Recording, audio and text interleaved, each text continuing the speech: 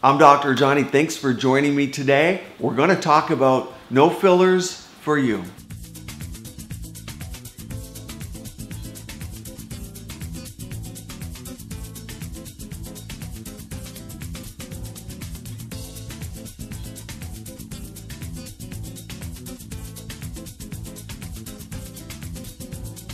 So this is uh, one of those problems that give people anxiety as providers, as injectors, and also as patients.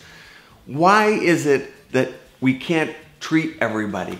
Why is it that some people aren't good candidates for treatment? And this uh, creates that anxiety because of several reasons. And number one is the patients come into clinics expecting to get a treatment that day, expecting to get rejuvenated. Maybe there's an event going on. Especially new patients, the consult, as we always talk about, is the most important thing. So there's a lot of pressure on both the providers and on the patient to get a treatment that day. And the worst thing people can be told is that they're not appropriate candidates for treatment and it's hard on everyone. So let's talk about this topic and I'm going to go through the top three reasons why we don't treat people. The number one reason usually is they're not a candidate.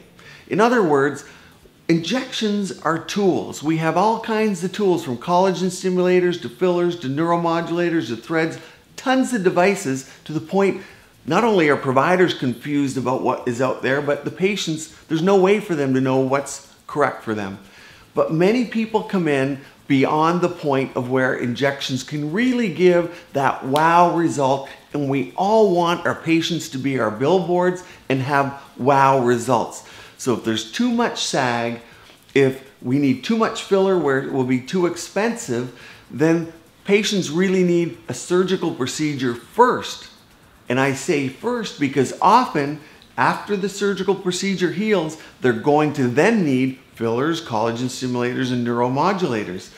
That becomes expensive. People don't want to hear that, but it's most important that we don't treat those people because they won't get the result. Which leads me to number two, which is expectations.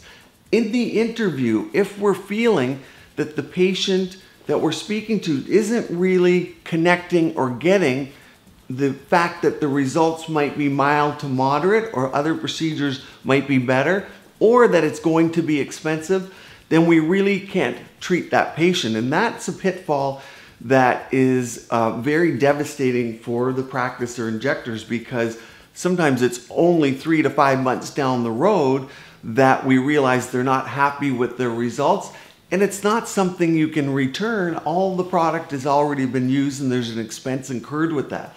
So patient expectations are key. Why is it such a problem now? Typically, it's social media. That's what we see. The results on Instagram and on Facebook and selfies and ages of patients and different skin types all lead to different results. And when we're doing these treatments, we're really guesstimating at a response that the patient's going to get. And every face is different, everyone's body's different, and the response and expectations are different. So that interview is key. Number three top reason is expense. Maybe you could get the result that you need, however, by the time it's said and done and you globally address the face, it may equal that of what a facelift or surgical procedure would have attained for the patient. So often a difficult problem, but these treatments aren't for everyone. I hope that helps. I'd love to hear your comments and experiences below. Join us on this YouTube channel, Facebook, and Instagram for continued helpful tips. Keep your skin and body beautiful, healthy, and vibrant.